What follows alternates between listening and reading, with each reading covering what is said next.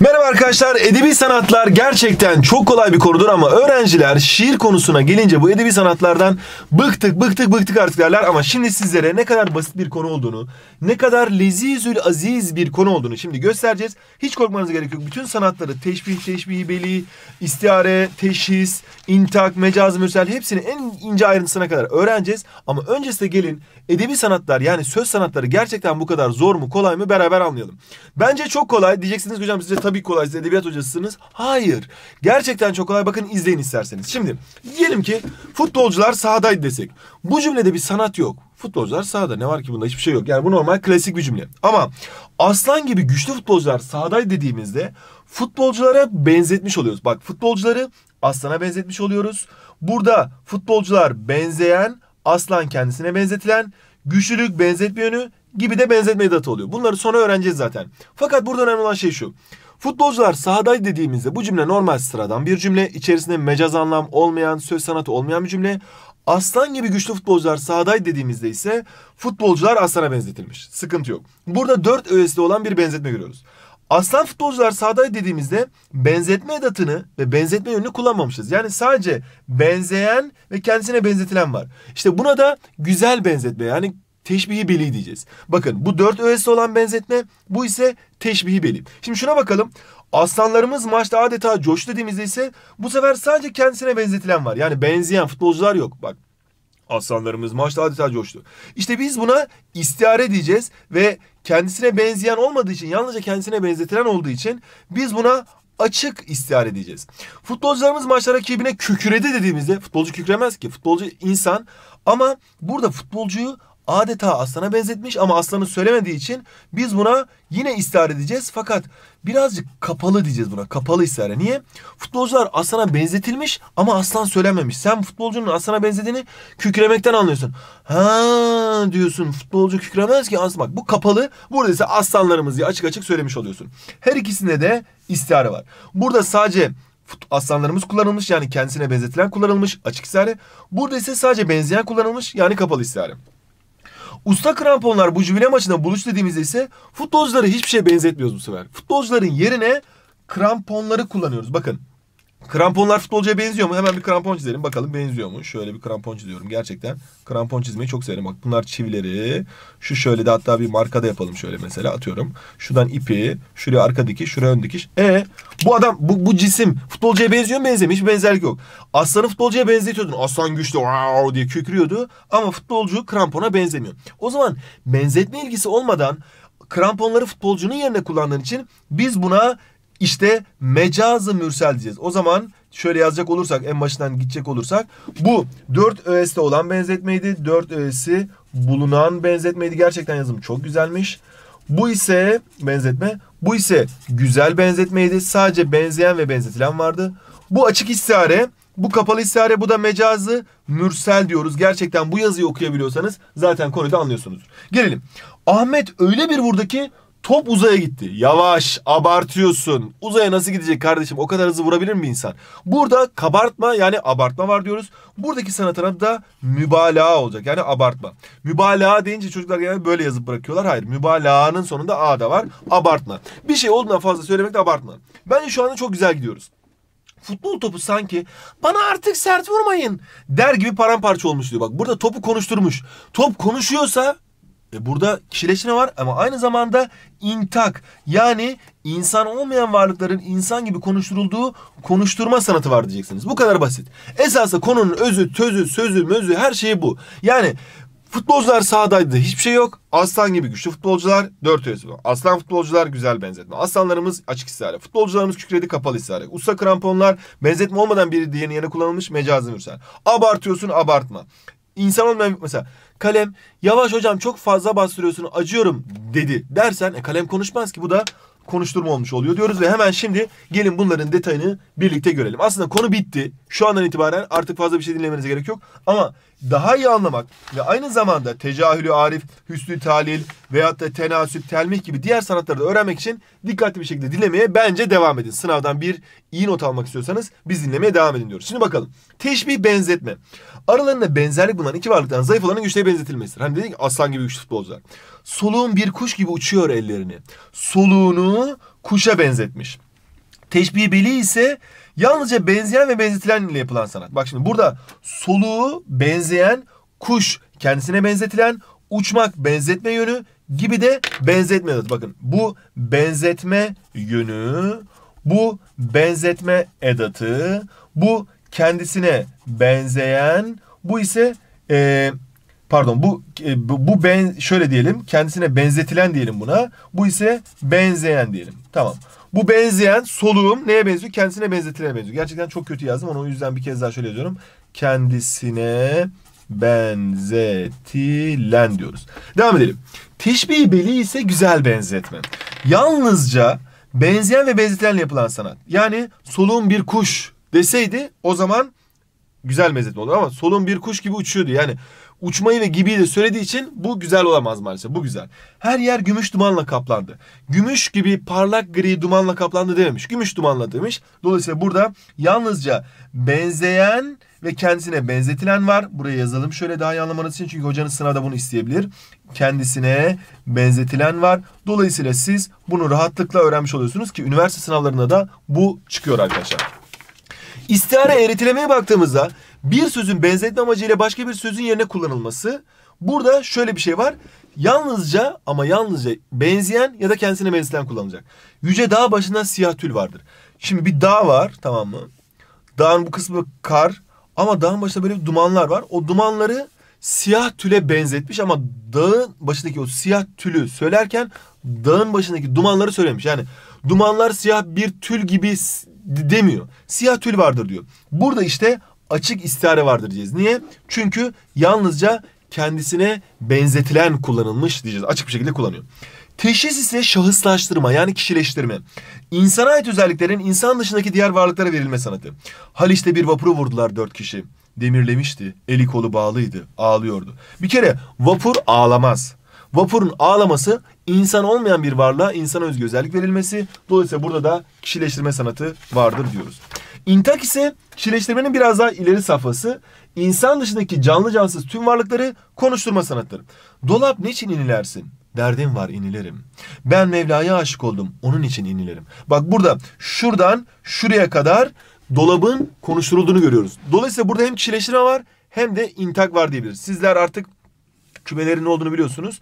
Şuraya kişileştirme yazarsak arkadaşlar konuşturma yani intak sanatı bunun alt kümesi olmuş oluyor. Bütün intaklarda kişileştirme var ama bütün kişileştirmelerde intak yok diyoruz ve inşallah anlamışsınız diyoruz.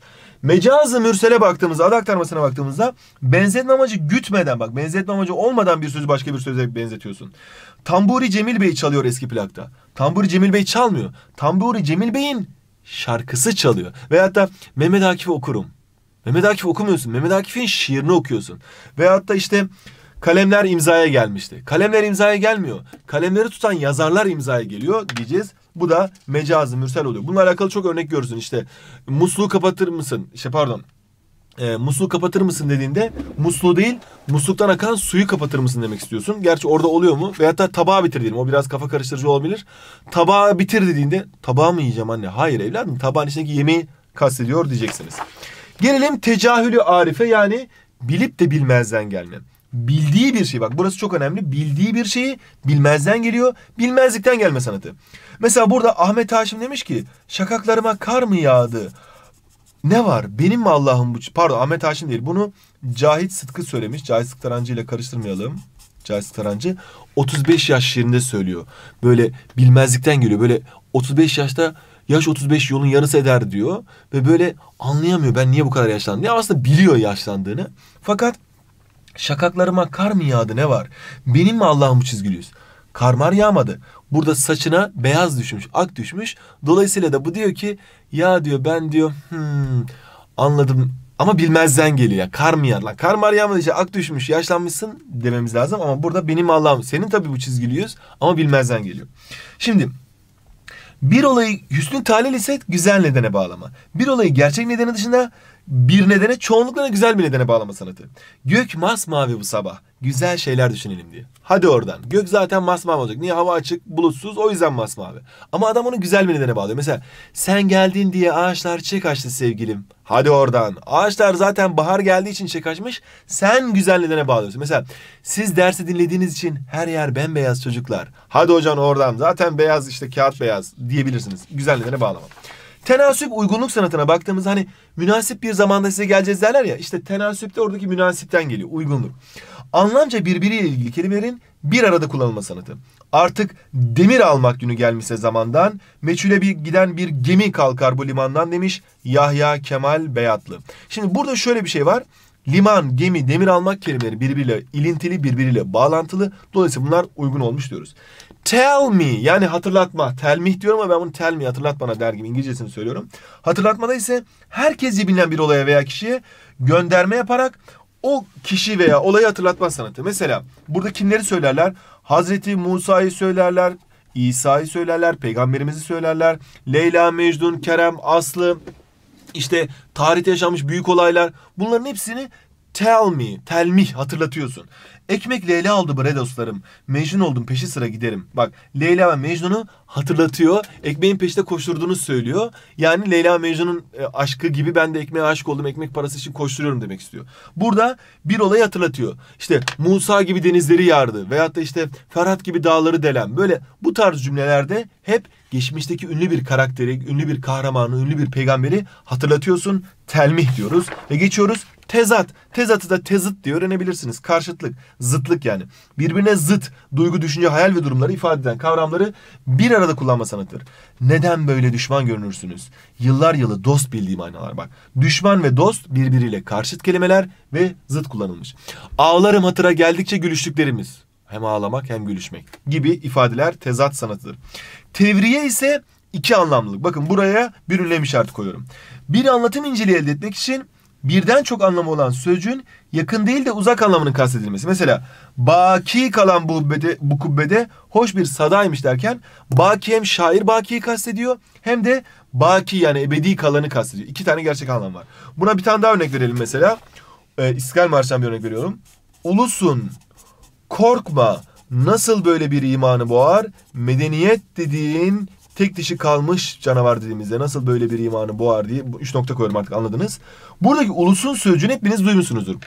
Ulusun korkma nasıl böyle bir imanı boğar medeniyet dediğin tek dişi kalmış canavar.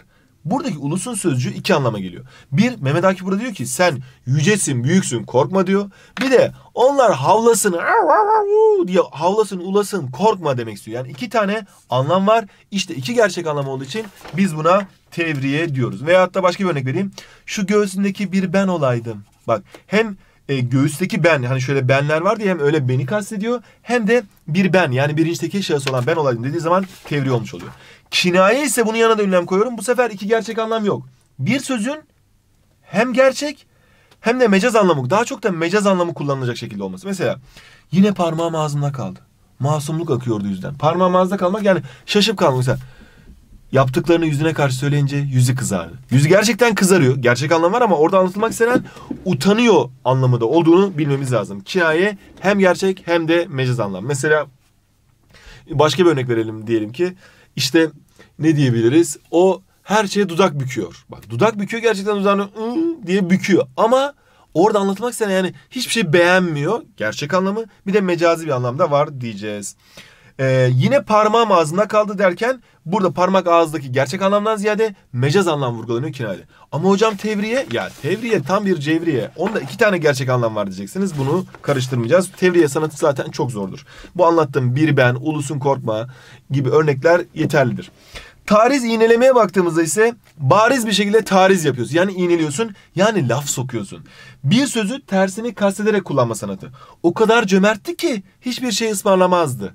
Aa o kadar cömertti ki hiçbir şey ısmarlamazdı. Laf sokuyorsun abi sen. Adama cimri diyeceksin ama tersi söylüyor. Çok çalışkandır. Genelde sınavlarda sonuncu olur. Bak laf sokuyorsun.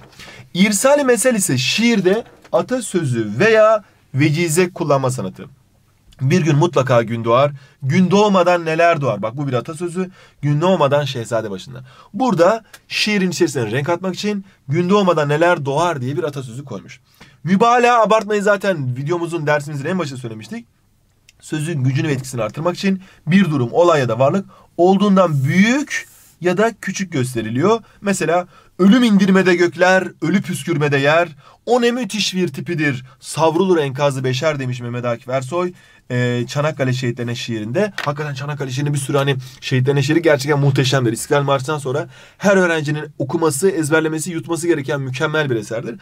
Orada hani bir savaş var diyor. Savaş anını böyle betimlerken birazcık abartıyor Mehmet Akif Ersoy. Yani savrulur enkaz beşer. Yani insanlığın tüm hepsi ölmüş bir şekilde savruluyor diyor. Ama gerçekten tüm insanlık oradaydı. Hatırlasanıza Çanakkale Savaşı'nda. Birçok devletten, e, birçok milletten insan vardı. Bunu abartmış oluyor. Dolayısıyla arkadaşlar hızlı bir şekilde özetleyecek olursak. İrsali meselde anahtar kelimemiz atasözü. Mübalağa zaten abartma çok kolay diyoruz. Kinaye hem gerçek hem mecaz daha çok mecaz. Tariz bariz bir şekilde iğneliyoruz, laf sokuyoruz. Tevriye iki gerçek anlam. Tezat, tezıt dedik. Tenasüp, münasiplik, uygunluk. Tell me, hatırlatma, bana hatırlat diyorsun. Bana hatırlat, tell me. Tecahülü arif, bilmezden gelme. Cehaletten hatırlayın. Hüsnü talil, Hüsnü, Hasan, Hüseyin hep güzel demek. Güzel nedene bağlıyorsun. Siz dersi dinleyip anladınız diye mut, e, kağıtlar bembeyaz oldu arkadaşlar. Hadi oradan hocam. Kağıtlar zaten beyazdı.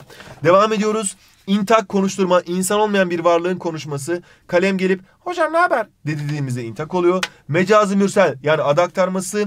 İşte usta kalemler imzaya geldi. Kalemler değil yazarlar geliyor. İstare benzetilen veya benzeyenin kullanıldığı benzetme diyoruz. Kişileştirme insan olmayan varlığın insanmış gibi olması. Teşbih, benzetme, teşbih beli ise güzel benzetme. Ama şu sayfa bakın gerçekten hepsini özetleyen bir sayfaydı. Eğer burayı anladıysanız süpersiniz diyoruz. Şimdi ödüllü sorumuzu yapın, yorumlara yollayın. Kendinize iyi bakın arkadaşlar. Hemen ödev vermek istiyorum bu arada. Sıfırdan 9'a edebiyatta bu konuyla alakalı çok güzel ödev verebiliriz. Aynı zamanda takta.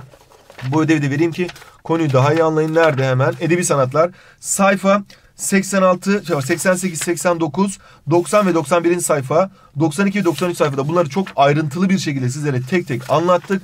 Bunları aynı zamanda buradaki soruları da çözün diyoruz. Ve yine tak Türk Dil Edebiyatı soru bankamızdan da ödev vermek istiyorum. Bu ödevler önemli. Ödevlerde de bakın şurada göstereyim. Nerede? Edebiyatta şiir. Ha.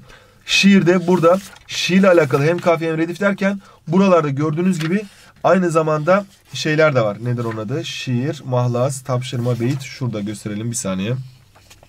Şiirle alakalı. Edebi sanatlar. Ha, burada. Burayı alıyorum şöyle. Ha burada bakın tam edebi sanatlar buradaymış. Şöyle gösterelim. Edebi sanatlarda bu edebi sanat bu yazınız demişiz ya işte edebi sanatlar hangi edebi sanat kullanılmış edebi sanata ne denir? Sayfa 47'yi çözmenizi istiyorum. Aynı zamanda şiir konusunda bitirdiğimize göre buradaki 50, 51, 54'ü çözün. Hatta burada sizin için bir yazılı örneği yaptık. Bu yazılı örneğini çözerseniz artık şiir konusunu cebe atmış olursunuz. Bu kitabımızı da buradan alabilirsiniz arkadaşlar. Hadi bakalım kendinize iyi bakın. Pardon şu soruyu şöyle göstermem lazım sizlere. Evet harikasınız. Hadi bakalım iyi çalışmalar arkadaşlar.